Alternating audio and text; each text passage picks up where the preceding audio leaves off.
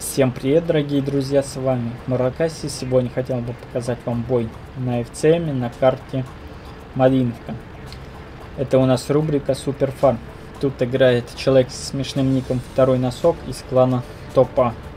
Я знаю, что этот клан а, скиллованных игроков, а и это значит, что наш игрок тоже довольно опытный.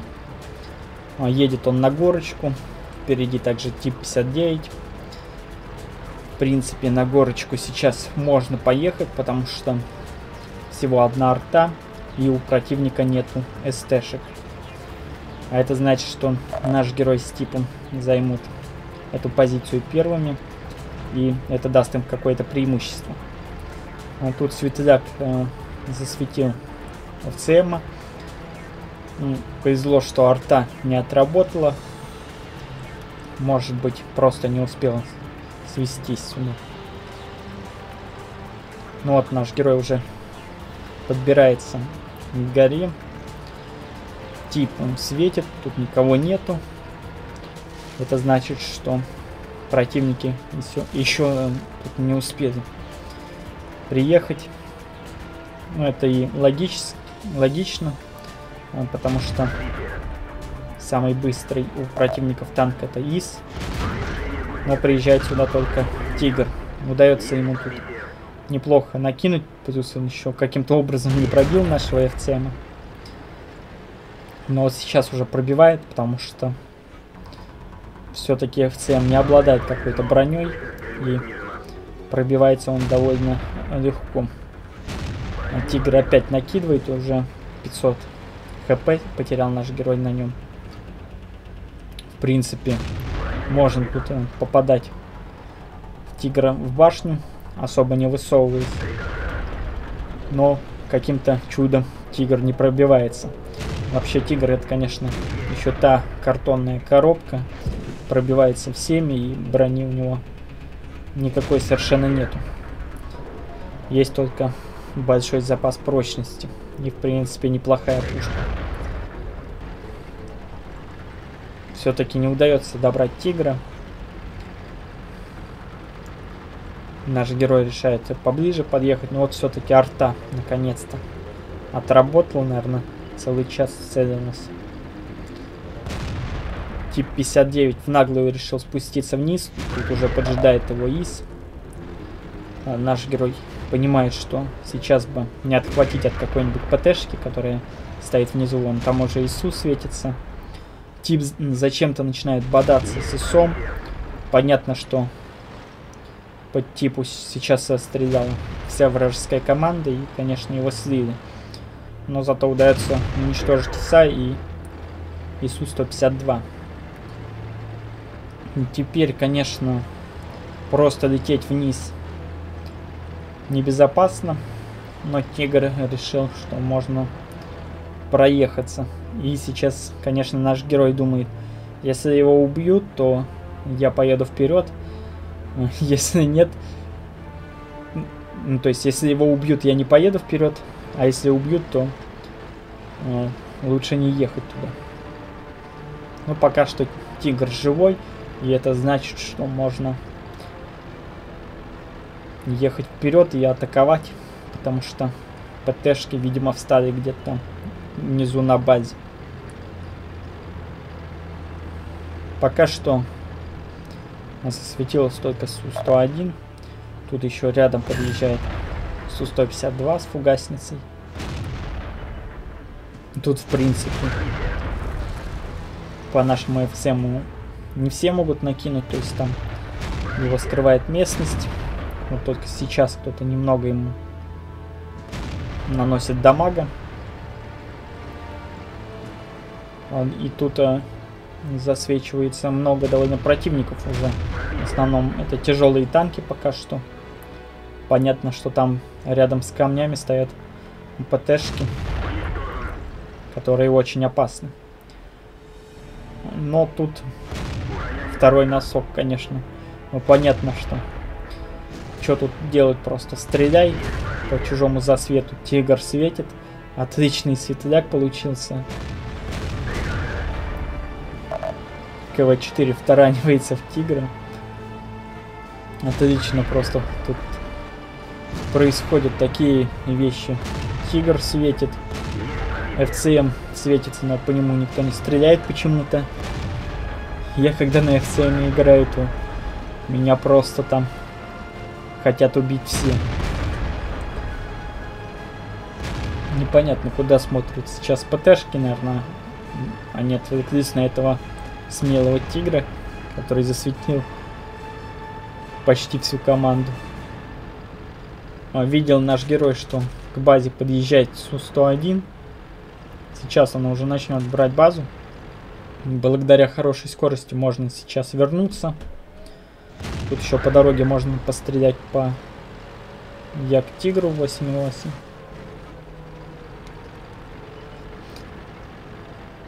Сейчас, конечно, ПТшку засветить довольно сложно, хоть и обзор у FCM хороший, но им все равно подъехать нужно близко к ней, чтобы ее засветить.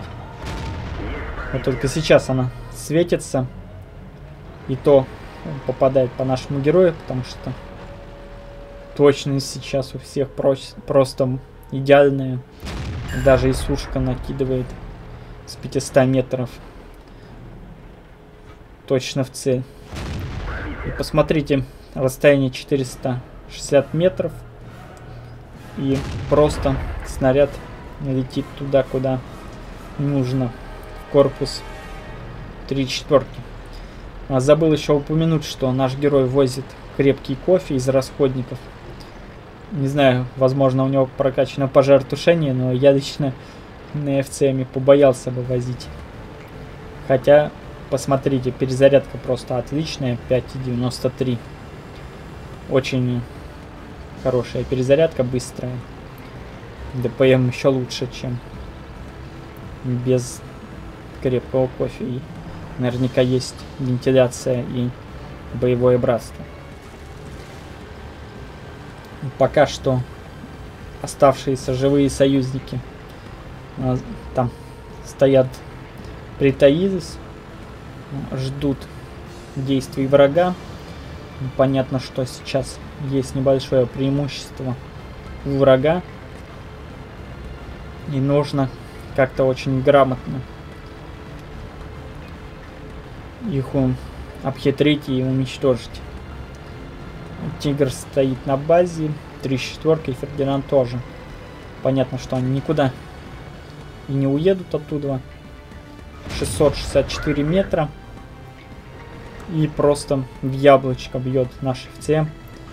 Посмотрите, снаряд точно в центр летит. Раньше, скорее всего, наверное, 50% всех снарядов просто бы не попали. Сейчас же наш ФЦМ попадает с такого расстояния прямо туда, куда и целится. Конечно, это прикольно и хорошо, но не очень как-то реалистично и, в общем-то, выглядит это странновато.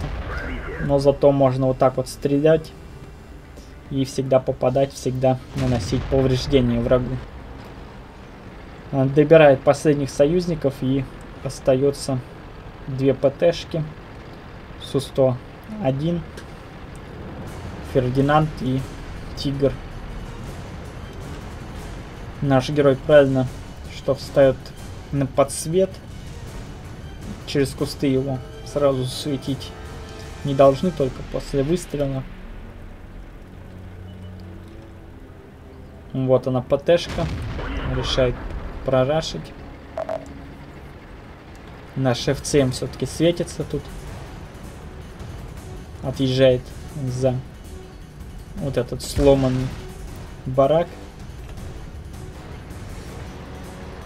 Конечно, по нему пытаются как-нибудь отстрел... отстреляться, но... Все гра грамотно было сделано, спрятался вовремя, в общем. И теперь наш герой понимает, что, скорее всего, Фердинанд никуда не поедет, он так и будет стоять на базе у себя. Союзники пишут, что Фердин, то есть это Тигр АФК стоит. И второй носок решает по болоту проехаться и попробовать как-нибудь отсюда подс подсветить. Вот он тигр, он по правде не двигается. Очень повезло, что он АФКшный стоит. Тут, конечно, Фердинанд может сейчас накинуть.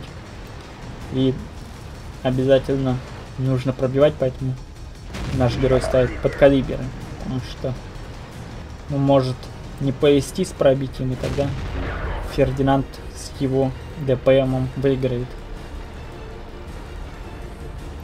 АФКшного тигра удается снять. Фердинанд пока не светится, но вот он стреляет. Он тут рядом. И везет, э, что вылетает нормальный дамаг. И это победа. Отличный результат. Спасибо за просмотр.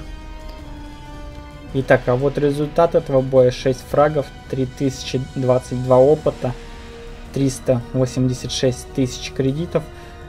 Только это было по акции. То есть э, игрок, который попадал в топ, тройку лучших игроков по дамагу, то ему давали удвоенное количество кредитов. 7729 дамага, медальки.